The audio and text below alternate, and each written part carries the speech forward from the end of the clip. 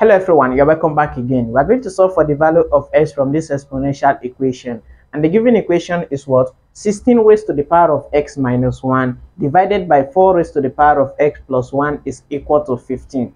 The first thing we're going to do, this 16, we can write this 16 in index form to the base of 4. This is going to be what?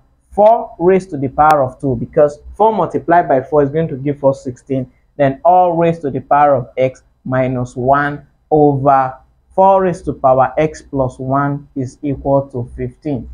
So the next thing we're going to recall is when we have x raised to the power of m to n to the power of n, this is the same as what x raised to the power of n to the power of m.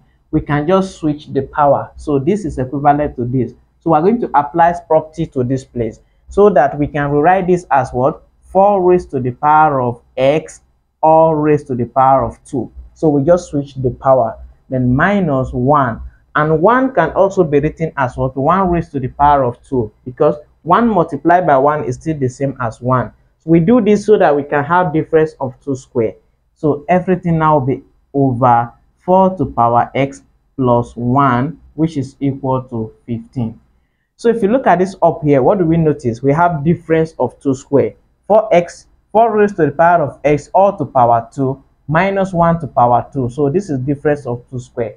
Recall that when we have a to power 2 minus b to power 2, this can be simplified as what? a plus b multiplied by what? a minus b. So this is the property we're going to apply to this numerator so that we can rewrite this as in form of this.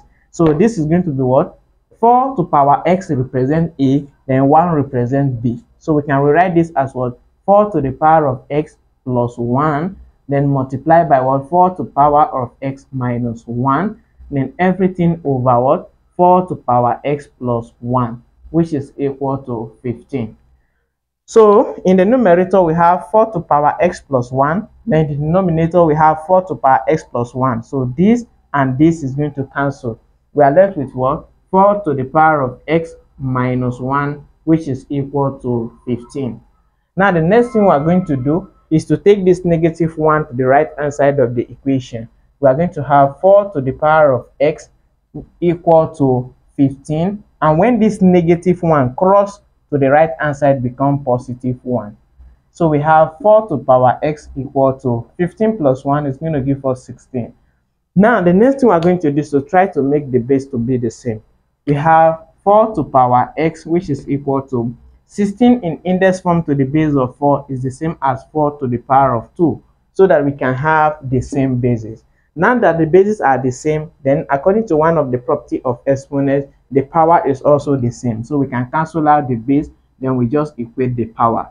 The first power is x, which is equal to the second power, which is 2. So therefore, 2 is the value of x that satisfies this equation. Thank you for watching and please follow and subscribe for more video like this. Thanks.